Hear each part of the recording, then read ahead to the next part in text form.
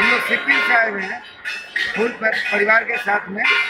बीवी बच्चा सब कोई साथ में है। कमलेश कुमार नाम है। इनका ममता देवी है। ये पिंकी है, ये सुधा है, अमन है। हम लोग आए ये करीबन दस साल से आ रहे हैं। धीरे धीरे, दिन प्रतिदिन व्यवस्था यहाँ का बहुत अच्छा लग रहा है। क्योंकि पहले बहुत तकलीफ़ उठाना पड़ता था, अभी बहुत अच्छा है।